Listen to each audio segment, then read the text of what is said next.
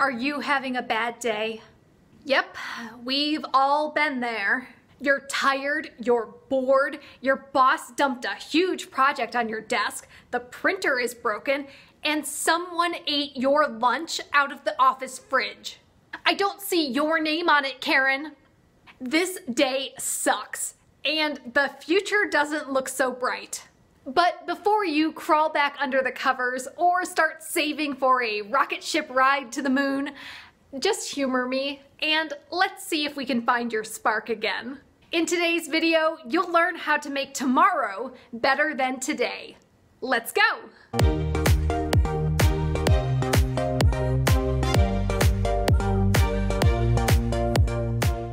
Hey there, I'm Sage Grayson, a former book editor turned life coach. I help ambitious career women edit their habits, routines, and mindsets to balance their happiness at work and home.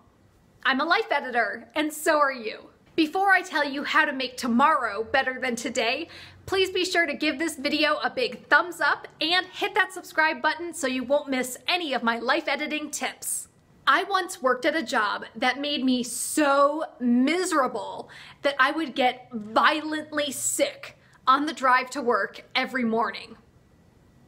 I'll just let you sit with that visual for a moment. It was the worst time of my professional career in publishing. But within three months, I had completely transformed my health, gained back my confidence, and I was offered two new jobs for a lot more money. No matter how miserable you're feeling right now, you can make tiny edits to lead yourself to a happier life. Here are seven surprising ways to make tomorrow better than today. Number one, wake up earlier. I know, I know. When every day is awful, the last thing you want to do is get up earlier so that you can have more minutes of misery. Hear me out. When you get up earlier, you have more time for self-care. Those extra minutes can help you get into the right headspace to face the day. You're preparing for war, so get up early if you want to win. Number two, strike a power pose. You're not Wonder Woman, but you can still steal her confidence. This awesome idea comes from the book Presence by Amy Cuddy, and I'll leave a link below this video. Stand with your feet wide and your hands on your hips.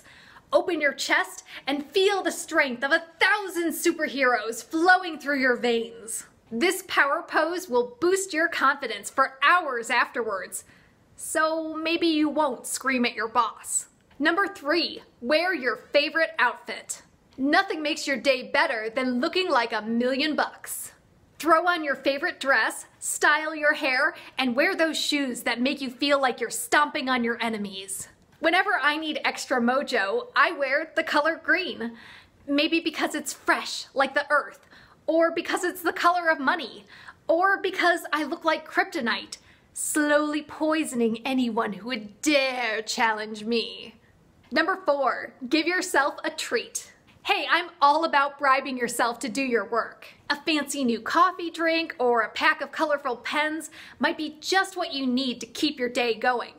And try to keep your treat inexpensive or free.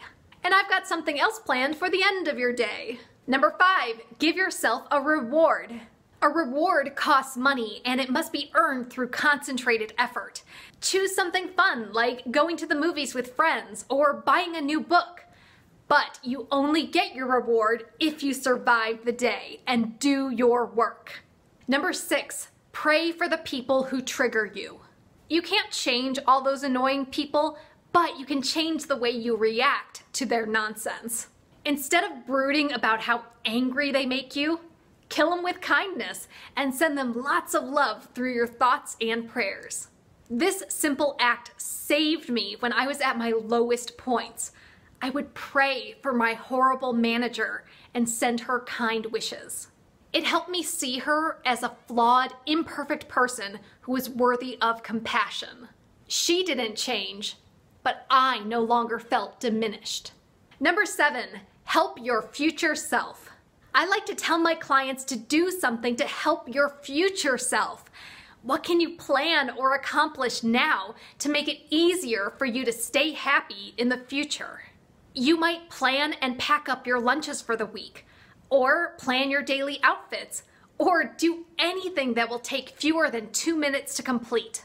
Every tiny thing you finish today will make life better for you tomorrow, and next week, and next month. That's it. This week, make tiny edits so that each day is better than the last.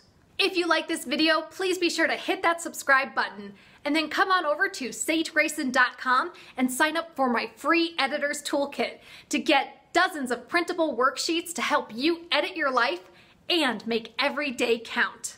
Thanks for watching. I'll see you soon.